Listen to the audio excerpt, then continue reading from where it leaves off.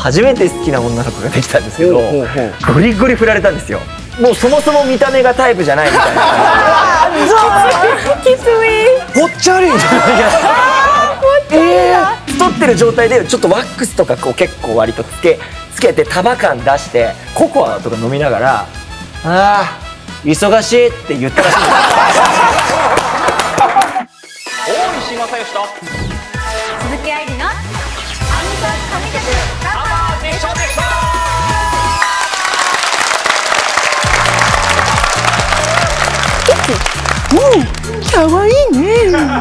どうもアニソン界のおしゃべりクソメガネこと大石正義ですウェーイ鈴木愛理ですそれはもしかしてですけどヒロアカですかそうですよ。雷電気そうです。ウェーイ。はヒロアカ大好きだから私。あそう。なのにこんな似てないって言われて似てないの分かっててやってるよね。もうダメなのモノマネは似てないの私は。さあそんな愛理ちゃんなんですけども、はい。今回はカバーもあるということなんですけども。映画「ワンピースフィルムレッドの主題歌 Ado さんの新曲の「新時代」を歌わせていただきたいと思います中田泰孝さんの世界観と Ado さんのなんかミックスな感じがすごい新鮮で頭のとこ歌い終わるとさ「ドゥンドゥンドゥンドゥン」ってこうあそうね。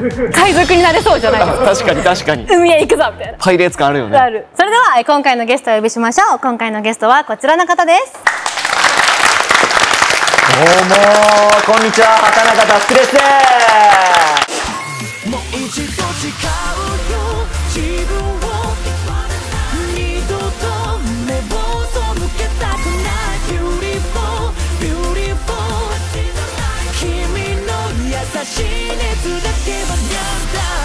速なんですが、はいはい。本家のウェイ。いや本当ごめんなさい。マジで1ミリも似てなくて本当ごめんなさい。でもあのごめんなさい。本当失礼ですけどめちゃめちゃアホっぽかったです。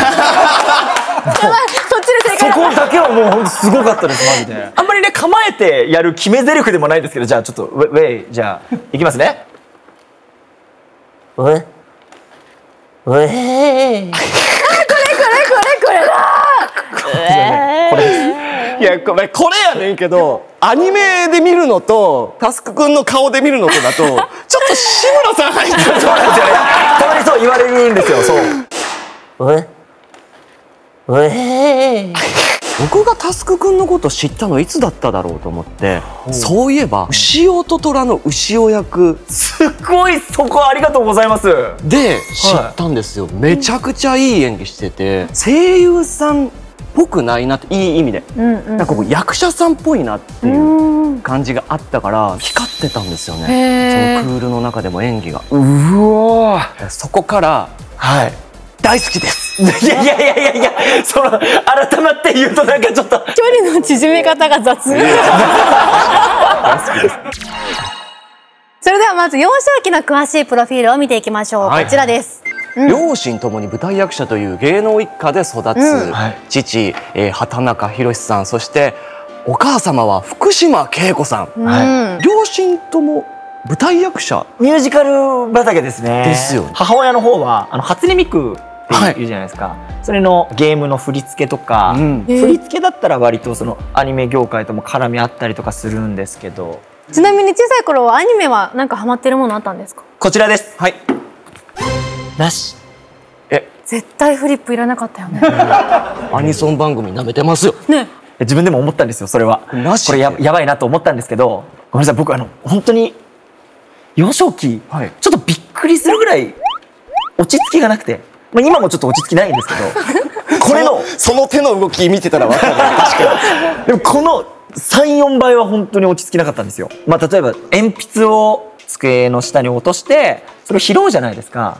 そのまま床で遊び続けちゃって机の間に棒あったりするじゃないですか。小学校の時下の方に棒。にありますね。ああれを掴んでパラグライダーごっこみたいな感じで。机にの下に鉛筆を落としたのをきっかけきにっかけに。パラグライダーごっこが始まる。そうそれぐらいであの授業中ずっとそれで1時間ぐらい遊んで。もう落ち着きない以前の問題ですねそうですね。よくずっとパラグライダーでやってくれましたよね。先生もよく付き合ってたよ。またこれぐらい出してるよ。だからそれぐらいなんかちょっと落ち着きがない子供だったんですよ。まあ、ある意味こう自由な子自由な供だったのかもしれないですね。そうですね、毎週毎週同じ時間にアニメを見るってことが耐えられない。なるほど。そういう瞬間もなかったんだ。だからナルトとかが始まったりとか。ワンピースとか。ワンピース始まったりとかポケモンとか、うん。もうみんな見てみんなその話で学校で遊んでたんですけど全然参加できなくて。本当に一人でずっと木登りしてました、木登りしてた。ある意味ワンピースしてるなそれはそれ そうですね。に並んだデジタルの文字でたったそれだけで全て判断。師匠一人目がこちらです声優の道を示してくれた母福島恵子。そうですね。あのまあきっかけはくれたんですけどあのこういうふうになんだろうテロップにして出してもらうの本当嫌ですね。母親をなんかねいやここで出すのちょっとこそね獄ですよこれもう本当に。いや俺も嫌だもん、アーティストの道を示してくれた母大石民みたいな。絶対嫌ですよね。やだやだやだ。もう嫌だもんこそばゆこそばゆそれでは小学56年生当時の細かいプロフィールと一緒に見ていきましょう、はい。こちらです。役者になりたいとお母さんに相談。もうこの時点ではもう役者になりたいと思ってて、相談をしたわけですね。まあきっかけはちょっとウルトウルトラマンだったんですけど、ウルトラマンになりたいと保育園ぐらいの時はいに言ったら、役者さんがあれやってるやつだから役者の道目指してみなさいよって言われてなるほど、あそれってどういう職業なの？って言ったらまあ親と一緒だったみたいな感じなんでああじゃあもう役者だって言って。ただ、お母さんに相談したところはい、いやあんた太った状態でデビューしない方がええようんって言われた、一回そのデビューしたらそのキャラクター付けが決まるので、う。ん太った状態でもしデビューしたとしたら、太ったキャラクターとまず認識されるかもしれない。満腹キャラみたいな。満腹キャラ。そうそうですね。はあずっと食べてるみたいな感じのイメージで役もそういう役がまず入り口としてはメインで入ってくるだろうっていうのでそれをお前が30歳とか40歳ぐらいになるまで続けられるんだったら方向性をそれで固めるんだったら今デビューしなさいって言われて ちょっと待ってちょっと待って、はい。小学生に解くセリフじゃないです お母さん。そうね。大人すぎる。普通に夕飯食いながらそれ言われたことだったんで、へでその時にじゃあもう決めなさいあんたって言われてちょっとそれは嫌ですと。自分の40ぐらいまでの道を今決められませんって小5の時に言ったらじゃあやめなさいって言われて。でもなんとか芝居がしたいですっていう話をしたら声のオーディションだったら見た目に縛られずにキャラクター付けもそんなにされずにまず最初のデビューができるしお芝居にも関われるからそうやった方がいいんじゃないのっていうのでいその時の当時の一般公募のオーディションを受けましたね。へえ、今日はですね、はい。えー畑中さんがぽっちゃりしていたという当時のお写真があるそうです。こちらです。いやぽっちゃりえー本気で。いい笑顔すぎる。もうほぼん笑って目が開いてないですよねもうね脂肪で。パラグライダーの時期ですか？これパラグライダーですこれ。これがパラグライダー。これバレるバレる。バレる。いやけ授業中パラグライダーしたらバレるでこ結構机に挟まるぐらいのレベルってたんでそう机は動いてたんですけど。結局じゃあいつ痩せることができたんですか？これはあの、マジでプライベートな話なんですけど、あはいはいはい。えー中学1年生の時に初めて好きな女の子ができたんですけど、ほうほうほうゴリゴリ振られたんですよ。振られ方も結構もうそもそも見た目がタイプじゃないみたいな感じで そう。にはきついな。そうなんですよ。その時こうやって太ってる状態でちょっとワックスとかこう結構割とつけつけて束感出してモテようとしてた頃にそれ言われたんでもうそれ以外の理由だったらきっともうみみ見た目だったら太ってるが一番多分その時に来てたから、うんうん。痩せないとと思って痩せました。てかもうショックで痩せました振られたショックで。振られたショック。げっそりしちゃった系ですね。そうです。あの夕飯食べれなくなって。あーアニメの世界みたいおな風呂も水風呂になるまでずっと入ってて自分でも気づかなかったんですけど水風呂になってたんですよ。あったかいお風呂で入ってたのに入ってたのに。冷えるぐらい入ってたってこと？そう稽古に「どうした？出ろ!」って言われるぐらいまで入るぐらいショックだったんですよ。本当に結構大きい出来事で、実はですね、えー畑中さんが痩せてからの写真もあるそう。これ何の番組？確かにこれ何の番組なんですけどすいません本当に。それもあるみたいです。こちら。めっちゃ男前だったよこれねしたんこれ？いわゆる中二病ってやつです。一番痩せて、もう一番モテたかった時期。だかめっちゃらモテそういや前髪ももう宿毛矯正かけてまだ太ってたんですよこの時。ちょっと若干ぷっくらしてたんですけどなんかこう歯を食いしばるとこの首元に筋ができるからそれで痩せてるように見えるって鏡の前で研究してこれ修学旅行の写真なんですけど全部この顔で食全部ってるそうもう歯食いしばって今もうこれ筋出てると思うんですけど相当頑張ってるんですよこれ。いやそれ修学旅行全然楽しめてない。楽しんでいやでもモテたいからもうとにかく喋らないで喋ったらバレるんで。えそれ振った女の子も後悔したんちゃう？いやもう全然。もうその子はもうガンガン他の人とか僕はそれを横目に見ながらそう宿毛矯正かけた前髪こうやって目の目のところに垂らしてその子をずっと見てましたね。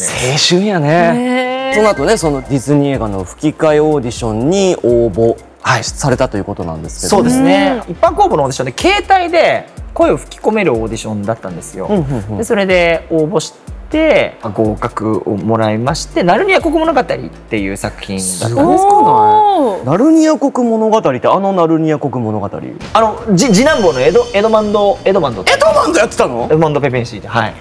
エドマンド？あのはいエドマンド嘘だ。いやいやいやいや。いやエドマンドエドマンドです僕。え？小学生の時にですか？小学校だから本当にあの一番太ってる時の。え声違うよ。声変わり前なんですって。信じらんないんですよ。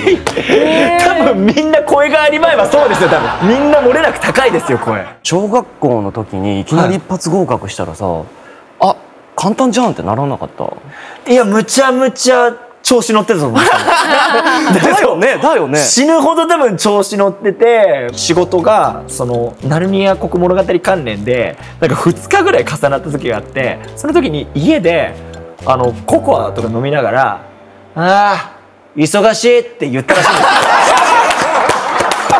マジびっくりするぐらい父親にボコられて 「お前もう一回言ってみろ」みたいなすげえ怖かったですよあんな怒った父親初めて見たってぐらい怖かった。お父さんよく叱ってくれたね。そうそうお前ほんと調子乗ったら一瞬にして消える業界だということを知れみたいな感じで。いやいいお父さん。4箇条みたいな。調子に乗らない。謙虚でいく謝る時は必ず謝るありがとうを忘れないっていう4箇条が勉強机の下にこう挟みましたね。あの父親が書いた。でもなんかさっきの写真があるとすごいココア飲みながら言ってるの愛おしく見えます。忙しいって。そう忙しい。かなり聞こえるでかい声で言ってたらしいんで。すぐ隣の部屋から飛んできました。たいもうそれでは続いて人生を変えた2人の師匠、2人目はこちらです。はい。厳しすぎて泣いた遊戯王音響監督松岡弘樹ということですが松岡さん。高校1年生当時の細かいプロフィールと一緒に見ていきましょう。こちらです、遊戯王ゼアルオーディション合格、初のテレビアニメで主演に抜擢、ということなんですけども主演でしかも初めてっていうことなんで、そうですね。それで松岡さんに出会ったってことですか、お世話になりました。その時にそうですねあのーまあちょっと なんだろう、まあ、右も左も分からないんですよとにかく、はい。だから結構ちゃんとあのー当時はまあ居残りをして何度も何度も同じシーンを演じたりとか、うんうんうん。そういうこともしたわけですよ。だから、まあ、その時にまあちょっと僕あんまり喉がそのすごくそのと当時強いってわけじゃなかったので途中何回もやってたら枯れちゃったりとか、まあ、そういうこともしたりとか、まあ、キャラクターはね何年先もこの残るものだからうん。生きていくものなんだから、その声が枯れたら、まあ、キャラクターを殺してることになりやしないかいとか。わまあいいあその話。看板をちゃんと背負ってあの自分がこの作品に挑んでいるんだっていう覚悟を持たないとダメだよとかいろいろ教えてくださって。本当に最初のノウハウを全部そうなんですよ。教えてもらったってことでももう本当に悔しかったから本当ちゃんと泣いて帰ってたんですよ。あ帰りにね そう毎週毎週まあスタジオでは泣かないようにしてましたけど、うんうんもう靴履くところぐらいからもう結構もうなんか そう帰りながら泣いてみたいな思い出はあったりしますね。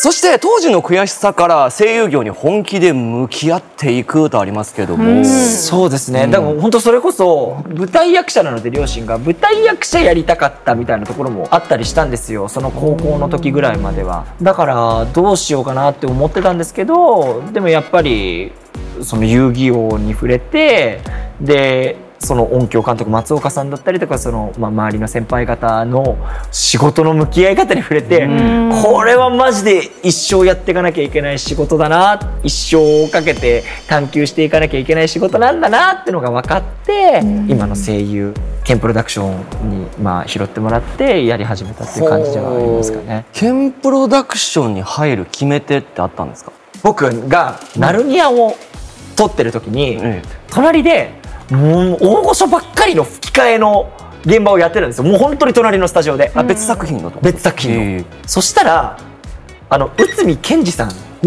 ラオウとか。ラオウとかやってる。北斗の拳でラオウとかやってる。内海賢二さんがその音響監督と仲が良かったのか突然あのブースの方に「うえー、やってる?」みたいな感じで入ってきて。いやめちゃ怖いじゃん。ラオウ来たってなるでしょ。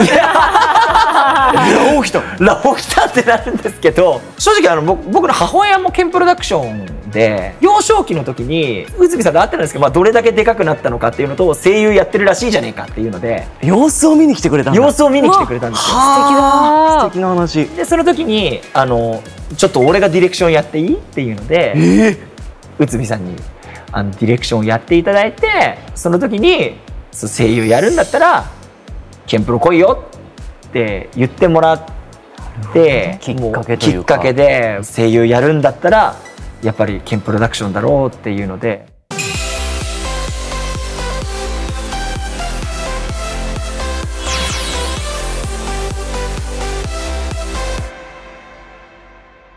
アベマの番組ではね関さんと MC ね。をやってると、かなり勉強になること多かったんじゃないですか？いやそうですね、関さんは本当にオールマイティーですもんね。むちゃむちゃオールマイティーで、うん。もう常に忙しい舞台やったりもちろん歌もやったりあとなんかたまに落語やったり歌舞伎やったり。すごくないですか？それで MC もやったり、もうとんでもない仕事量なんですけど、その合間に勉強しなさいって俺も 教わりまして資本論とか絶対読まないじゃないですか。経済の資本論。あと君主論とか。君主論。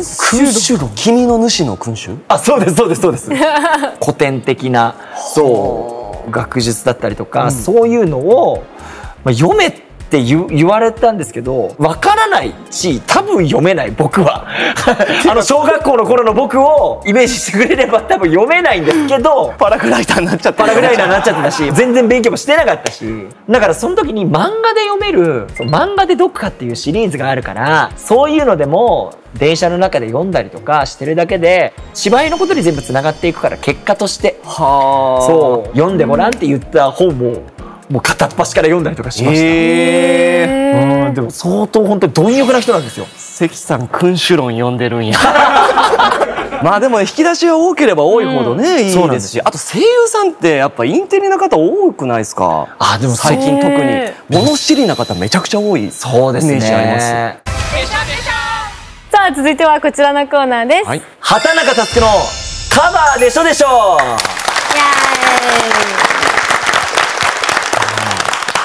さ今回この番組では畑中さんに歌ってほしいアニソン神曲をアンケート調査しました、はい。アンケートさせていただいたのは畑中さんが出演したアニメ「僕のヒーローアカデミア」のテーマ曲です、はい。はーい。畑中君どうですか？こう番組でカバー曲を歌うっていうこと自体。いやないないほぼないです。トークもしてたじゃないですか、はい。もうずっとカバー曲のことが 上の空でした。どうどうしようどうしようって考えてましたね。それぐらい緊張してます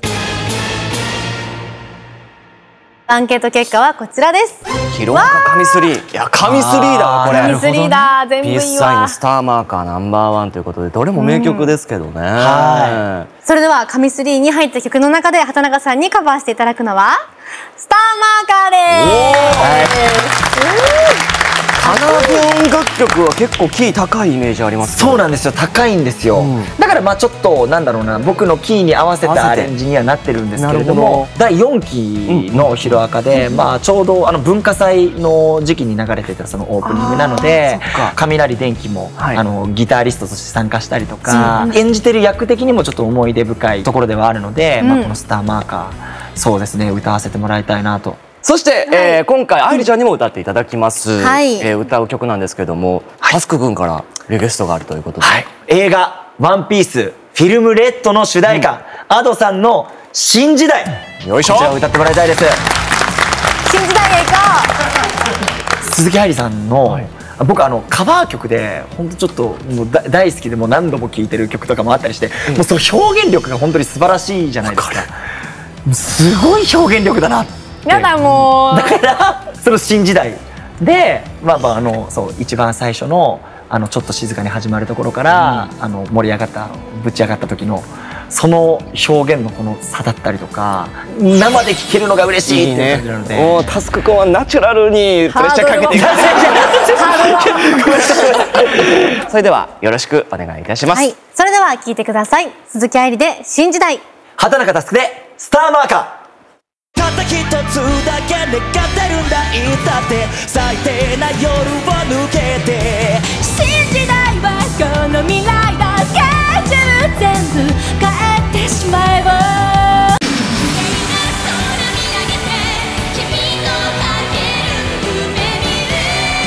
爪痕を残さないといけないということで曲と曲のつなぎをラップにしたんですよ、ギャルなんでハイヒールとか入ってアニソンのライブに